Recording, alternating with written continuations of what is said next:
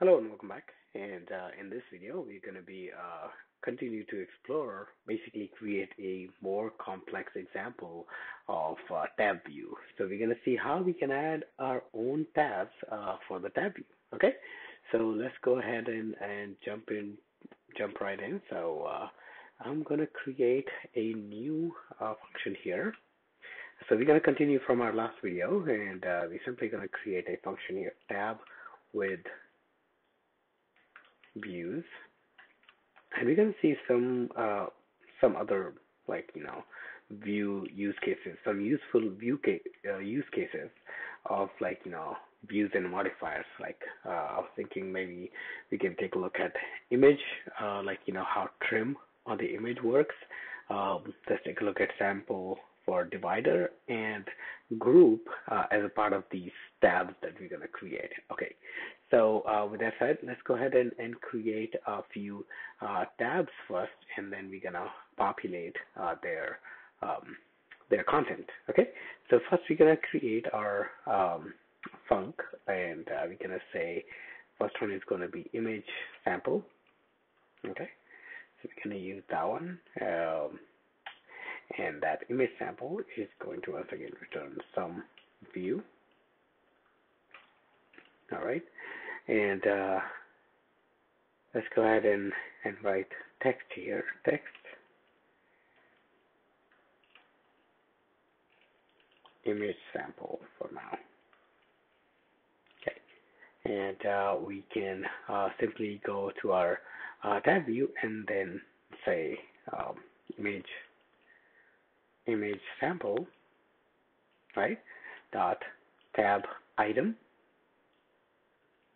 Okay, and uh, now here uh, we can give our um, image, uh, basically our tab, a custom icon. So system name, and we can just give it a photo dot on dot rectangle, for example, just something random. Okay, text images. Okay, and uh, we're gonna use this tab with views as an example. Let's go ahead and open our canvas. Um, whoa. Okay, that was new. Okay. All right, so it's gonna build and basically create uh, this um, image sample with tab with view. Well, Okay, so tab item, uh, we have uh, a tab item, and I have no idea why it's not showing the tab. that is very odd. Okay, let's go ahead and, and continue, and, and um, we will see. Well, the reason is, um, well, I don't know the reason. Oh, I know the reason because we forgot tab view. There you go. That is better. Okay. Um, okay, so next one, we're going to create another, um, and this time it's going to be a divider sample. So func divider section or sample, and uh, we're going to say some view and text divider sample like that. Okay, so we have divider sample dot tab item and uh, it's just going to be a trailing closure with image system name and uh, let's use doc dot text dot fill. Just as an example and then text as divider. Okay. So let's see if we can actually get it working. Try again. Let's rebuild, and there we go. We have two. All right, let's take another one just to give a variation, and this time we're gonna take maybe group samples. So we're gonna talk something concrete while we are building these views for our tab. Okay. So we're gonna talk about groups here. Basically groups in SwiftUI. All right. So group sample dot tab item. I'm simply going to remove this and put a trailing closure here, image, system name, and then we're going to have link maybe text. Oh, groups, like so. Okay, and uh, you can resume, and we should see three tabs. So if we interact with them, we have this text content uh, still present there. So let's go ahead and talk uh, uh, like or tackle basically uh, image. Okay, so you saw how like you know when we created our um, progress bar, we used trim function. So we can use trim function um, a little bit more. So let me see what we have. Like we have a image one as an image. So we're going to use that image now. So let's go ahead and um, use that image one as an example here. We're going to make this resizable and we're going to make this a frame with width as 200 and height as 200. Okay. Uh, we're going to provide the aspect ratio for this one to have content fit and we're gonna clip the shape and this is where we're gonna initially say uh, let's clip it uh, with a circle. Okay.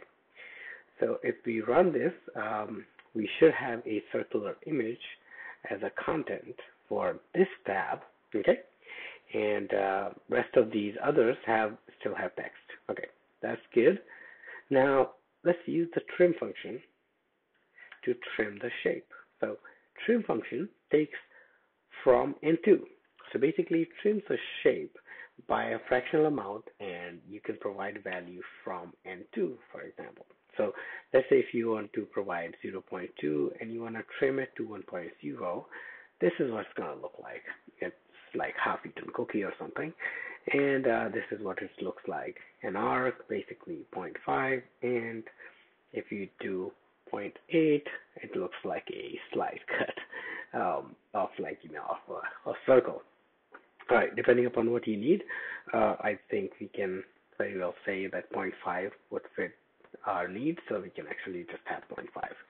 All right, so just once again, just so you know, trim function you can use to create these custom shapes, and you can actually rotate the shapes and stuff like that, like we did uh, in our progress bar. So combine these examples, experiment with them, like you know try to see what you can come up with.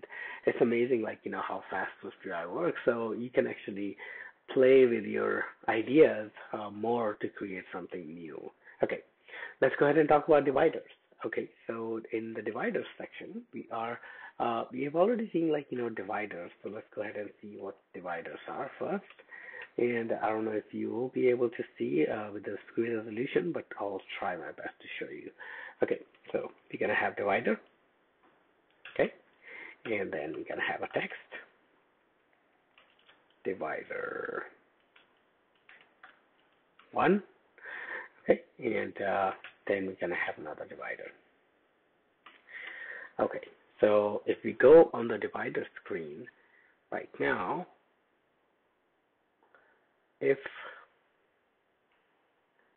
this preview starts to respond, I don't know if you can see, but uh, there is a there's a line here. I don't know if you can, I think you should be able to see now, but um, let's see. I can zoom out a little bit. Yeah, there you go. So you see this line right here. This is your divider. Okay. So there are various things we can do. So first of all, depending upon what kind of container it is, it it either can be present as a horizontal, like you know, basically horizontal divider, or it can be presented as a vertical divider. So let's create an edge stack here, and I'm going to put a spacer uh, just to show you that um, that effect of like you know squashing a divider with between in between, and uh, I'm going to say divider, not divider sample divider, okay, and uh, then put a text between another divider. Okay, so if we go back to our divider again, so go ahead and rerun our example, and uh, I'm going to go to divider. As you can see, there's another divider that's uh, showing up here. And uh, this divider is now vertical, depending upon what kind of container it is, right?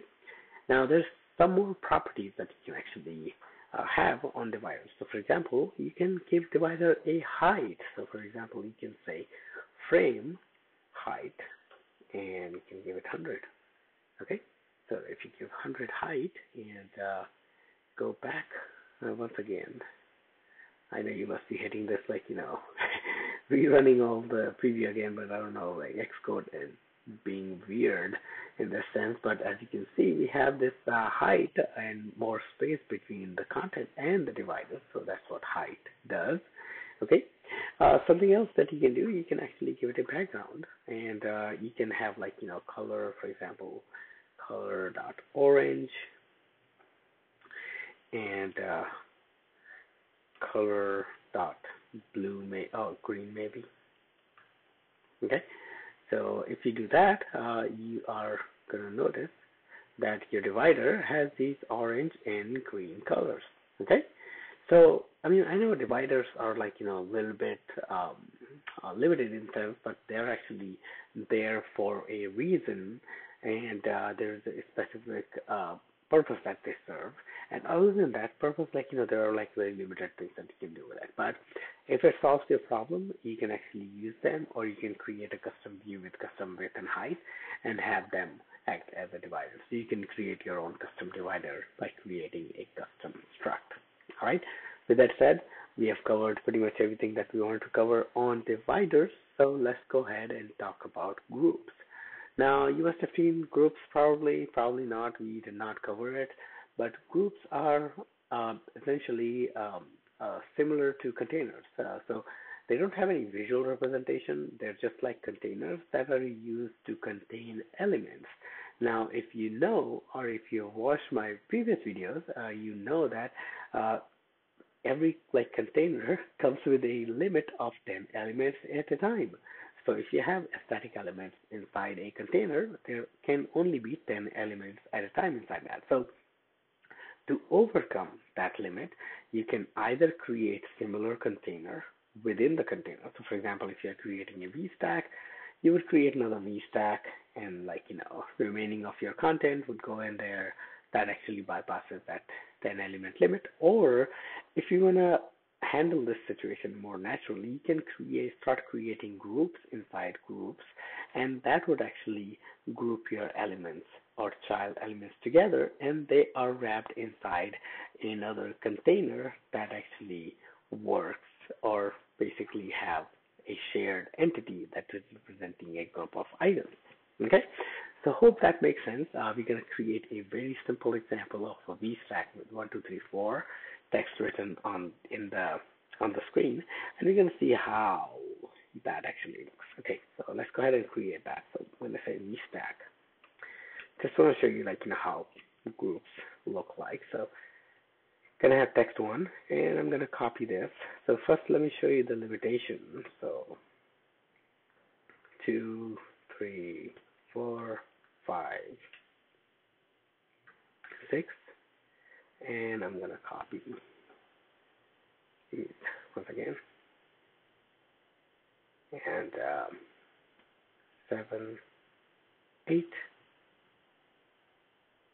nine, ten, eleven, twelve. As you can see, we are getting this random error argument pass to uh, call argument pass to the call that takes no argument. Uh, now, if I take these two extra elements out and try to re-render it, it actually works just fine. So it does not have any issue whatsoever um, with rendering these 10 elements. So if you go on groups, uh, you're going to see your 1, 2, 3, 4, 5, 6, 7, 8, 9, 10 being printed just like that. Okay. So now what you can do is, one alternate is basically creating another VStack right? And embedding that those extra elements into the VStack, right? So uh, let's put 10 here, and uh, that makes up our 10. And uh, let me go ahead and rerun this. I'm gonna actually resize this back. Okay, so as you can see, it's all it's all good, and there's no problem. But instead, you can use a group two, which actually can represent the intent of your of your item. So static items, static cells, or static um, objects, and you can have like you know a group of similar intent uh, items and wrap them inside that. Now, group also works like a other container because it's another container and you can have like you know shared modifiers applied to it. For example, you can have padding, you can have foreground, color. So notice what happens to our um, to our view once we are done with it. So color dot blue. So I'm gonna just give it a blue color for the background and give it a corner radius um, like so. Alright, did not mean to do that. And we're gonna say infinity to make it shape like a circle and then we're gonna have a padding. Okay. So with these changes, let me go ahead and stop and go ahead and restart. And let's go to our groups. And as you can see, our 1, 2, 3, 4, 5, 6, 7, 8, 9 are written in a regular text versus the group, entire group is written with this circular view that has numbers inside with custom padding. Okay, so that is what group does to your view. Okay, so with that said, we have covered three different things. We have covered our tabs, we have covered uh, trimming of the image, divider, and groups in this video. So I hope you guys like this video. Once again, this is how you can create your tab with custom views. So enjoy and uh, let me know if you uh, if you have any questions. But but yeah, uh, we are gonna continue to explore more of Swift UI. Uh, in the next video, we are uh, probably gonna take a break uh, from exploring all the components and create a rather complex UI uh, uh, that actually can combine some of these components that we have learned in past, and then we're gonna uh, like you know create a custom component, another custom component, just to see how that works. So that's how we're gonna proceed. Okay, so hope you guys enjoyed this video. Thanks again for watching.